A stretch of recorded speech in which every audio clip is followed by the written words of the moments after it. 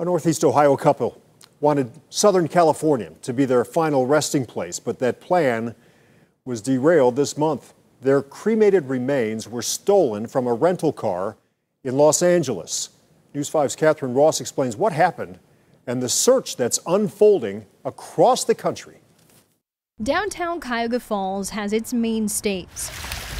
Just down the road from the Clifford Shoemaker Funeral Home. A great little bar and restaurant down the road. It was well liked by Cuyahoga Falls folks. What's now a tiki bar once was Hunt's Restaurant, owned by David and Leslie Hunt. The Queen of Front Street, yeah, a lot of people called her that, and she actually gave my dad the name the most handsome man on Front Street. Leslie ran the business after her husband died in 2009. Before well, she really passed away in December, Steve Shoemaker helped her make arrangements. Leslie was meticulous when she planned all this out. She uh, set up the cremation through me, but then gave me contacts of her friend Bob to contact for the transport out to California. Leslie wanted both her and David's cremated remains interred near her childhood home in Southern California. We planned that journey. We were honored to do that for her. Bob Gallagher was fulfilling his friend's final wishes this month. He tells our affiliate in Los Angeles he stopped at this Denny's after landing at LAX. After breakfast, he came out to find the window of his rental car smashed. Our luggage and uh, belongings were gone.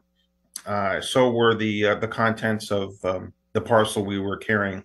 Um, with the um, with David and Leslie. Really gave him the best advice I could, and which was really just sit back and hope somebody finds him. Shoemaker says he then took a call from someone at a dog kennel who found one of the urns with the funeral home's number on it. David's remains had been found on a dead end street an hour away. They're still waiting for word on Leslie's remains. Even though she doesn't have a lot of family remaining, it was her final wish, so it's it's important to her friends that there's a she gets to where she's supposed to be. Gallagher has filed a police report and tells us he's received several tips about discarded luggage near that Denny's, but nothing's panned out. He says he's just anxious to give his friend her final peace. To let this be the end of the story, I I have to be able to say I that we're trying to do everything we can. Now, Shoemaker tells us Leslie's remains are in a white box with her name on it, as well as the number for the funeral home here in Cuyahoga Falls.